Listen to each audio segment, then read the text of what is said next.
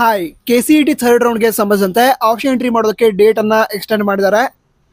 September ಇಪ್ಪತ್ತ್ಮೂರು ಎರಡು ಸಾವಿರದ ಇಪ್ಪತ್ತ್ಮೂರರ ಮುಂಜಾನೆ ಹನ್ನೊಂದು ಗಂಟೆಯವರೆಗೆ ವಿದ್ಯಾರ್ಥಿಗಳು ಆಪ್ಷನ್ ಎಂಟ್ರಿಯನ್ನು ಮಾಡಬಹುದು.